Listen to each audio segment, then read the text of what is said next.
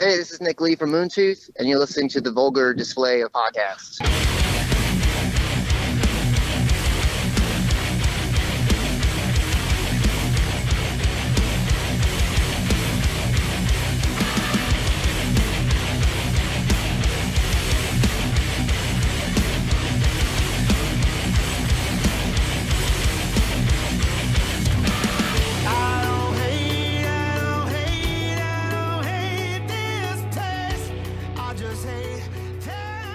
Welcome back to the Vulgar Display of Podcast. We are joined over the phone right now by a very special guest, Nick Lee from Moontooth. How's it going, Nick?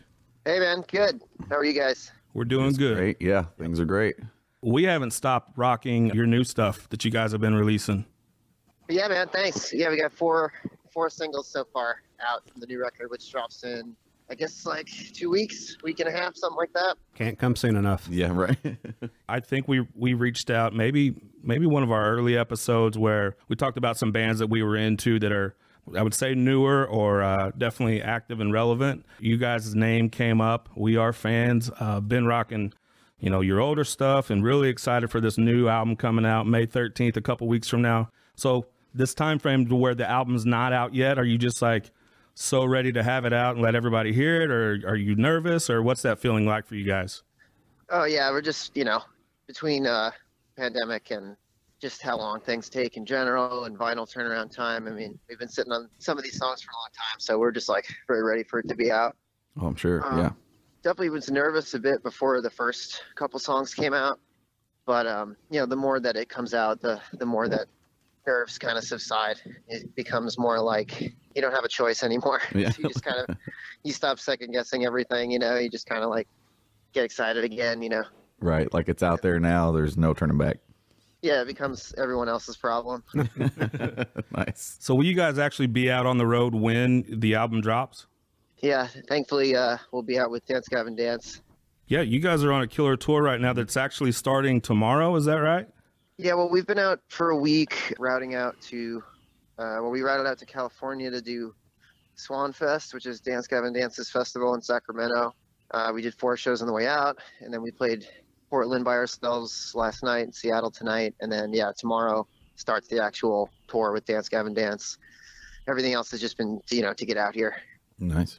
With our podcast, with the Vulgar Display of Podcasts, what we're kind of known for doing is uh, picking some of our top three songs or drummers, or and that's kind of I think even how you guys were mentioned on one or two of our past episodes. So if you're okay with it, we've picked a couple songs and we're going to play a little bit and then uh, maybe ask you a few questions about it if you're okay with that. Yeah, totally. Okay. Dale, you want to talk about yours? Yes. To say that I am absolutely in love with the conduit. Sweet. Yeah, that, thanks, man. That song, uh, uh, actually, Ray, our drummer, wrote the lines there of uh, the uh, riffs in that song. I read another article that he just laid down the whole song. Yeah, it had everything but the bridge and the vocals. Uh, um, and once the uh, once the vocals started going, the I got the bridge together. But uh, yeah, that was all like Ray's song that he really sculpted around um, this pedal, the Zvex Fuzz Factory, which just has this really, just totally fucked, uh, just gated, awful, like noisy fuzz, but it just sounds super heavy and. Um, uh, he was just the original demo he did was just that thing through a DI. and It just sounded so weird, heavy. So it was kind of just built around that guitar sound. I was going to ask you about that because it actually sounds like there's an octave pedal on it or there's like four layered tracks on it. Yeah, I mean, yeah, I think the whole thing has, yeah, like uh, the Fuzz Factory, and then with and then an octave down doing the same thing. We probably just used the Pitchfork for, but uh, yeah, I don't even remember. There's a lot of guitars on that song. It just and the reason I ask is it just sounds huge. Yeah, it does. And I love the choppy intro. That me, me, me. I love it. It drew me right in. I love it. Well done. Yeah, we hadn't really done a song that was real glitchy fuzz like that, so it was it was fun to do. I mean, we definitely like a lot of like kind of weirdo stonery stoner rock stuff and Yeah. that kind of fuzz, you know, fuzzy hard rock stuff that uh you know we we've touched on before, but that song kind of like we were going for more of like Queens of the Stone Age or the, there's a band called the the Netherlands from Brooklyn who are really sick and their guitar player Timo is like a master of just the, the you know a lot of it almost sounds like um like synth. It's a super heavy, fuzzy guitar kind of thing. What I really love about you guys is, and I, I even love your Instagram handle. It's Moontooth Shreds, right? Yes. Like that, you are totally ripping on guitar, but it's just all these like super melodic singing over the top of it and hooks. So it's r- real catchy, but it's real shreddy too. Thanks, man. Yeah, I mean, um, we had just always had like kind of a me and uh, Ray, our, our drummer, have been playing together since we were young, like 13. So we always kind of had like a healthy competition going of like who could come up with the crazier thing, and we love like uh, kind of grew up on Van Halen and Pantera and things that were you know of that Nice. nature where everything, Mhm. everybody's kind of you know working. Nobody's like taking it easy. Everybody's got to like play some hard riffs, Yeah. have some chops, but you know, but still have songs. Most Sure. importantly, is the songs. So my pick, the guys always give me hell because I can't pick one.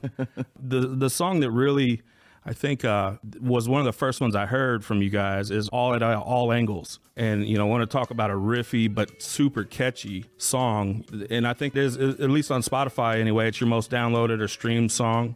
Would you say that's one of your most popular songs? Oh, definitely. A lot of our songs take, you know, pop chord progressions, and I use that as the bed to write riffs. You know, um, kind of learned early on that our singer John does really well with that kind of thing. You know, he just can write much more rich melodies and catchy things. You know, when we when we when we do like real thrashy tech death, you know, tech metal stuff, you know, that kind of leaves him with less options melodically. You know, there's like less room for him to to fit things in but yeah, that's definitely that's usually the uh, if not the closer, like the song before the last song. Yeah. Oh, nice, solid. And then the other one I picked was "Carry Me Home," and I love I love this blue amp version that you guys put out.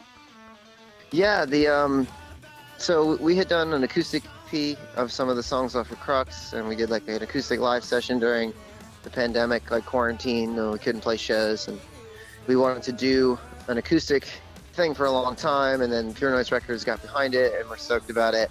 And then so when th- this record came out, an idea to just help promote the new songs and just do something fun was to do alternate versions of a few. Mhm. So we did an acoustic version of uh, Nymphaeaceae, and then That's how you Um, say it. yeah, that's it. Yeah. I've been trying for months. And we're getting pretty good at titles that people don't know how to say. Yeah. Um, but uh, yeah, and then uh, for this one, we were just like kind of real burnt on doing acoustic stuff. And when I wrote the song, I was trying to do like Hendrix and Allmans and Stevie Ray Vaughan kind of like style riffing. And that's so like when the alternate version idea was coming around, it was like, well, why don't we just do it, you know, full on kind of ZZ Top, Southern rock kind of thing. And uh, yeah, it was just really fun. And we just called it Blue Amp version because that's an amp that Ray uh, built in the studio. It's like an old, supposed to be like an old school Marshall Plexi. Oh, cool. Um, nice.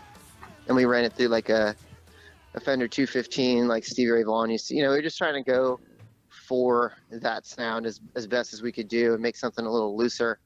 It was just for fun. You know, I mean, there were moments where we were like, should we do this? Is this going to be really confusing for people? But I think that, you know, we just kind of trusted, like, people get it, that it's just, just kind of an experiment. And Yeah. just kind of seeing if the songs, like with the acoustic stuff, like if the songs could kind of hold their own, you know, without the, without the fucking heavy guitar sounds and stuff like that and big crazy sounding drums, like make sure that they could kind of, there's a, still a song there when you strip all that away. I think you guys nailed it. I mean, to me, and I love the guitar tone on that. It sounds like a tube amp that's really warmed up and kind of being pushed to the max there. And then on Anthony's list is Alpha Howl. I cannot get enough of that song right now, and that video is absolutely crazy. Goodfellas theme, right? You guys kind of mirrored that a few scenes from there. Yeah, yeah, we uh we had like this very serious idea for a music video that everybody was kind of like ho hum about and like like yeah, it, it, this is cool, I think, and then we you know we had a bunch of beers one night and we're just kind of like riffing and like that idea was just the funniest idea and then the more that we could you know we started thinking about Ray's partner at his studio that he owns, Anthony, played like my mother in the video, and it just, just became funnier as we went on. And you know, we're like, you know, four Italian Americans from Long Island, so you know, it was just kind of like it was real on the nose, kind of just make, making a joke about ourselves because we get that joke all the time when people are like, "You got a Carbone and a Romanelli." jeez.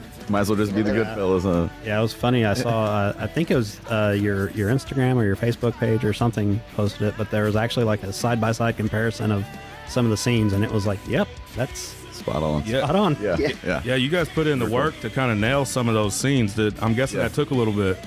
Kind of, yeah. I mean, I've seen that movie so many times that like it was Sure. actually not that hard. I'm not like I uh, whenever I have to act music video, uh, it always just feels super fucking awkward and weird. But that one was like pretty easy, just to pretend to be Joe Pesci. Right. Um, Probably been quoting it for years like and he years, really huh? needed the dialogue, but Yeah. uh, the yeah, I mean, uh, Tom Flynn is I think that was like number you know maybe number nine or number ten for music videos he's done for us, and uh, he's uh, he was like just really on the ball. Like he just kept checking, you know, the footage on his phone to make sure that his uh, his angles were like perfect, and you know we were just con- you know constantly kind of checking as we went to make sure like our faces were similar and stuff.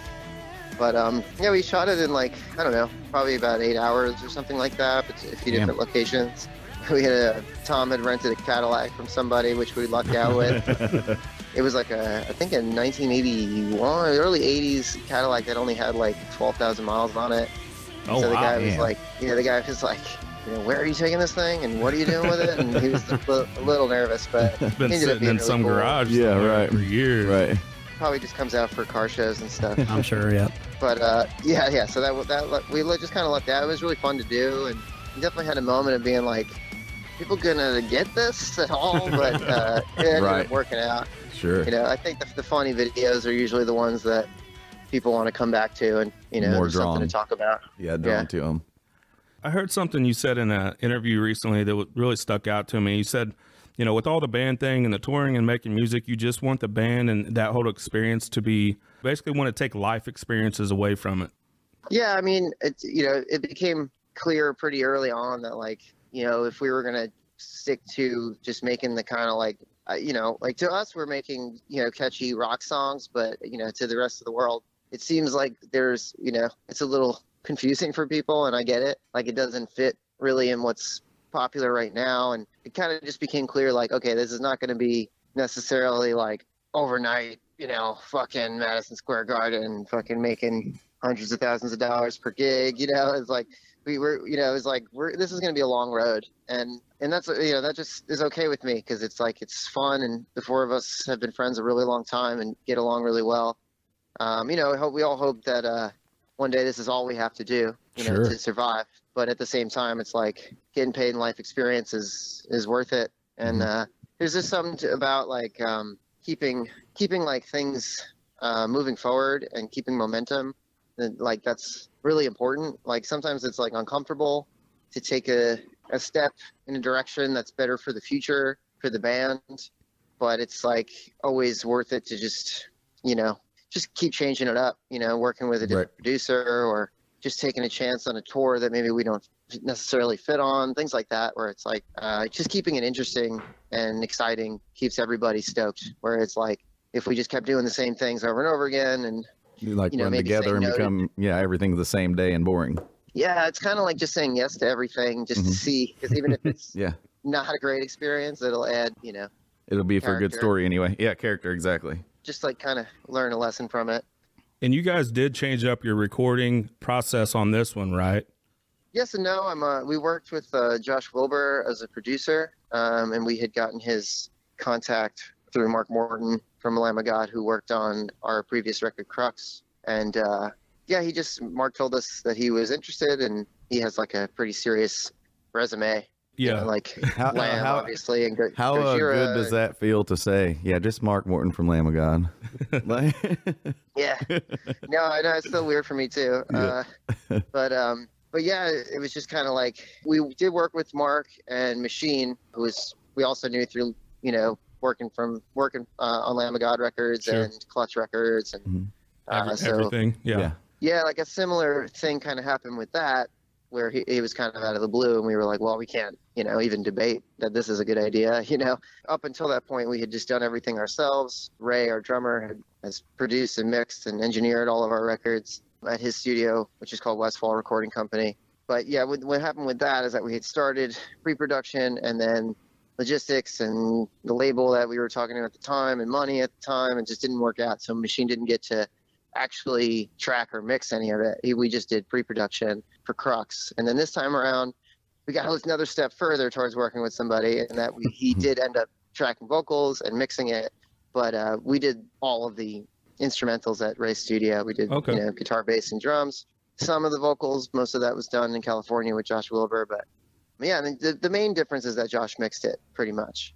And that's was a big kind of, I don't know, like a step, again, like a little uncomfortable because it's like that's what Ray does for a living. And that's, that's, he prides himself on his mixes, which are, which are killer. But it's like, you know, why not try something different and just see, see what happens? You know, I, we're, we're not like, you know, we have another record or two ready to go right now if we really wanted to buckle down and do it. So just see yeah. like an exciting, you know, it just made things, you know, a little bit more interesting and exciting because there's always that fear of like, well, what if it gets fucked up? but yeah, Right. right. obviously, Take that but leap no, though. we're really, we're really stoked on on uh, what Josh did with it. And when we work with Machine and Mark, and then working with Josh, you just learn, you just learn things. You know, you just get that, you get kind of paid in experience and knowledge. Go forward with that, you know, kind of just knowing what that's like, and you just getting people's perspective. And you know, you could be definitely in your own little insular bubble when you're just like the four dudes in the band talking about everything, you know, and kind of lose perspective really quick when you're just constantly just the four of you working on the thing together. So when somebody comes in and kind of goes like, "Hey, this could be better," it's fun to go, "Oh, well, fuck you, yeah, I, can, I can come up with something better," and then you Right. do, and it's like, "All right, cool, you know, yeah, this, Okay, riff, that this works. riff is more Right. exciting now." You were right, yeah. and sometimes you're like, "No, we're good," you know, but for the most we'll leave it. part, you know, we we took their ideas and put them through our filter, and you know, then you have the record. But the songs don't they don't change their their shape as much. It's just like introducing just exciting possibilities here and there, you know. So, um, you know, you brought up Machine. I I had read that he actually saw you guys on tour with uh, Fit for an Autopsy and reached out personally and wanted to work with you. Yeah, we were on that tour in 2017 uh, with Fit for an Autopsy and Tombs, and Pat from Fit was like, "Hey, M- Machine wants to talk to you, you know, about doing your next record." And I thought he was fucking with me at first.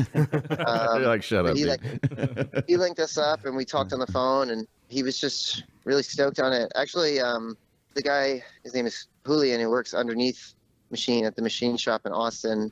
We were buddies. He we played with his band chronolo- chronologist in boston and just stayed friends. So i think he turned him on to us and then they, he got in contact with us through will putney and then through fit for an autopsy. And so yeah that was a trippy phone call. Sure. but uh, Yeah. we got along really well. You know, like he was, he's real intense, uh, very uh, animated and very, uh, ex- you know, very uh, like he has a lot of energy behind what he does and his Mhm. ideas. So it can be um, intense at first to to talk to him about stuff. But yeah, and then uh, he did come to the last show at uh, Knitting Factory in Brooklyn on that Fit for an Autopsy tour, and that's where we actually met in person. Hell yeah. Awesome. So some of these tours you're you've been on tour with and you are on tour with like heavier bands and maybe some of the crowds haven't heard you or, or your style. Are you finding that they're pretty receptive to what you guys do? Yeah, definitely. I mean, I, I think that we bring a lot of energy live. So even if it's not your thing, you know, you can you, still have a good time watching the show. Also, we toured with, you know, Fit for an Autopsy and Tombs, where we were definitely not, you know, the least heavy band on the tour. I mean, I thought we were going to get eaten alive on that one, but you know, people people were pretty open minded and, and cool to us. I don't remember anybody uh, heckling us or talking shit or Yeah, anything throwing stupid bottles like that. and everything. Yeah. No, nothing like that. Maybe if we toured with like Slayer or something, we yeah get that. right, But, right. Sure. um, no, people are really cool. I think that like in general, like the lines between death metal and hardcore and and prog and all that kind of shit, like people are a little more open minded than they were, you know, 10, 15 years ago, where it's like, you know, everybody's a little into everything. You know, I just saw, you know, Knocked Loose and Animals as leaders and fucking Dance Gavin Dance on the same stage like in a row Yeah. yesterday, and Yeah. all the kids were really stoked on every band and um, and we are too you know so Mhm. i think that when it's it might be like catchy and poppy and rock but you know it's got some it's got some fangs to it and we're very very loud Yeah. so it, you know we'll, we'll get by at metal shows and we kind of just grew up doing that like every show on long island is like not every show but a lot of them would be like death metal hardcore somewhere in between and then we'd be like weirdo kind of stonery band And I'll speak for me that sometimes when I'm at a show like that where all the bands have a similar sound and then there's one band that has a, a different or a unique sound, sometimes it's a little bit of a breath Right. of fresh air. Right. It's like a breather that- that you, you want. Yeah, it's sometimes a little bit of break from the norm that's uh that's exciting for me anyway. Yeah, I want to go to a show where I see you know different types of music. I mean, that's more I don't know, just more interesting the whole time. It's just like Variety. if I see I love death metal, but if I see five death metal bands in a row, I'm going to be pretty burnt on it by the end. Right. Yeah. Yeah. Yeah. So we we love to do that. I mean, and we can kind of like we fit in and don't fit in at the same time with everything we do. So we've supported Thank You Scientist, which but Yep. they're yes, very progressive, more I don't know, I mean even just you know, they were covering like Stevie Wonder and stuff and Oh boy. doing just just doing stuff that was very much not not Yeah. fit for an autopsy. You know? Yeah. And, right. uh, but that tour went really well for us too, and we were kind of the, the heavy band on that tour. And I don't know, I think like, and we don't try to like curtail the the set list to the audience or anything like that. And it's it just is what it is. Not to say we don't have bad shows, but uh, most most of the time it's not because the the bands we're playing with. It's just because someone's shit's not working and normal Right. shit. And uh we do follow you on Instagram. That Swan Fest. This is my first experience or exposure to that. That looked awesome. that Outside- lineup. Yeah. lineup looked killer. The outside venue looked Yeah. totally awesome from the videos that you guys posted. Yeah, it was sick. I mean, uh, we kicked the whole thing off, and, and which was actually great because you know the side stage was right by the gate, so it's like pretty much everybody like had no choice but to Right. watch us. yeah. To come right into you guys. That's perfect. We didn't really have anybody up against us on the on the main stage, so it worked out really great, and the whole thing was awesome. I mean, Fall Troy was really sick. Covet was really sick. I mean, watching Animals and Knocked Loose side stage was, you know, I got to see a lot of cool music. I think it was like ten thousand people bought tickets, and Wow. it's you know it's Dance Gavin Dance's guitar player is Will Swan, so his it's Swan Fest is his his Oh. baby, and as as the band is his baby. A lot of the other bands, like I think like Eidola and Royal Coda, they kind of fall under you know the Dance Gavin Dance scene that they sort of created out of Sacramento. And I was glad to see that they are uh, they decided to continue with what they were doing, and they got they got permission from everybody's family and everything. So I was glad to see that that things didn't uh, get canceled or anything, and Yeah. I'm sure you guys were as well. Yeah. So we have uh, Nick Lee from Moontooth with us. You got to follow them. You got to find them out on tour, and uh, I can't let you go without asking about your beer, though. Oh yeah, yeah, uh, yeah. So Thin Man Brewery just put out a, a beer called the Phototroph IPA, which is the name of the new album coming out, Phototroph. And we just got to finally try it. Actually, they mailed us some at Swanfest, and it's it's great. Like even uh, if you're not an IPA guy, it's like pretty pretty mellow, but it's it's delicious and gets the job done. Awesome. Um, but uh, yeah, like uh, I know a guy Mike D who who uh, we know from Long Island. He was at a uh, Barrier Brewing and uh, had done a beer for us before for the last record. And when I reached out to him, see if they were interested again, he said that he'd moved on to Thin Man, but that they were even more interested and would do cans and because they had done a beer for Every Time I Die and they did a beer for Mastodon. oh, cool. We're still, I think they're still just kind of working out the the legal stuff on the distribution end, make sure every, all the fully legal to distribute to wherever you want. But um, it, it's great though, and it, it should be available to to order wherever soon. I mean, we're we're gonna try to get it to some of the shows at the end of this tour if we can. But yeah, man, it's awesome. So that's Thin Man Brewery, and it's actually got your album cover on the beer, right? Yeah, the cover that uh, the artist uh, Caroline Harrison did is uh, is on the beer can. It looks sick. Yes, it does. And I, I love the album art to where it's, you know, all colorful and pretty up above and then, mm-hmm. you know, the darker sepia tones or whatever underneath. It's Yeah. super cool artwork that you guys have and love that everything that you guys are doing. You have to check out the album being released May 13th. Catch them on tour with Dance Gavin Dance. Nick Lee for Moontooth, we appreciate you. We appreciate you calling in, man. Yes. Thank you. Appreciate your time. Oh yeah, guys, thank you for having me.